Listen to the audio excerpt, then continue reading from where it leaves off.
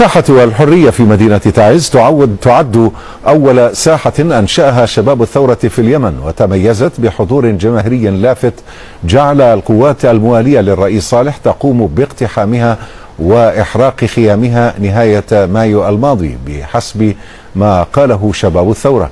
وقد تمكن الثوار من استعادة الساحة لاحقا لكنها لم تعد على ذات الحال بسبب الوضع الأمني وقيام شباب الثورة بفعاليات أخرى يصفونها بالأكثر تصعيدا.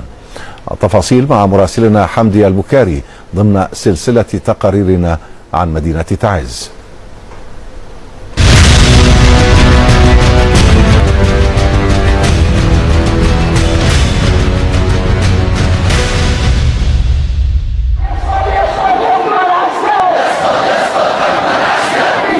ساحة الحرية في مدينة تعز في إحدى جمعها حيث يحط المتظاهرون رحالهم بعد أن جابوا بعض شوارع المدينة.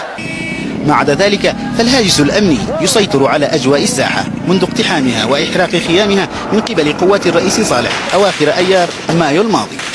لكن مسلحين من أنصار الثورة تمكنوا من استعادتها بعد أيام. الثوار لا يستطيعون الاعتصام المتواصل كما كان في السابق لأن الساحات كسرت سلميتها بالاعتداءات المتكررة على هذه الساحات. التجول داخل الساحة يكشف عن حجم الأضرار التي لحقت بها وبالمباني المجاورة جراء استمرار قوات الرئيس صالح في قصفها خاصة في ساعات الليل. في هذا الفندق كان يقيم صحفيون بينهم فريق قناة الجزيرة. قبل أن يتحول إلى شاهد على حجم العنف الذي تقابل به الثورة كما يرى شبابها. لا تخلو الساحة من الفعاليات. فهنا مثلا يرسم فنانون تشكيليون أمنيات من يصفونهم بشهداء الثورة. للأطفال حضورهم في ساحة الحرية ولكن كما يحلو لهم. أطفال آخرون يعبرون الساحة يوميا في طريق العودة إلى منازلهم. ويبدو أن هذا العبور قد علمهم الكثير. ترك كثيرون الإقامة في الساحة لينتظموا في مظاهرات يومية خارجها.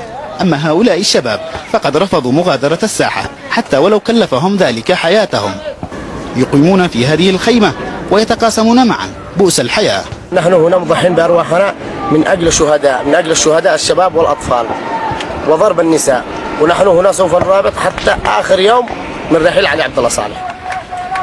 في بعض ضواحي المدينة وأريافها أنشأ شباب الثورة ساحات تحمل ذات الاسم لتبدو تعز وكأنها كلها تغني للثورة. يقول شباب الثورة هنا بأن نظام الرئيس صالح يعيش أيامه الأخيرة بسبب التصعيد الثوري خارج الساحات ولذلك تشكل ساحة الحرية بالنسبة لهم رمزا مكانيا يأمه الناس أحيانا بهدف التأكيد على أهمية الرمز الجمعي مقابل الاستمرار في تفكيك منظومة القائد الرمز والزعيم الأوحد.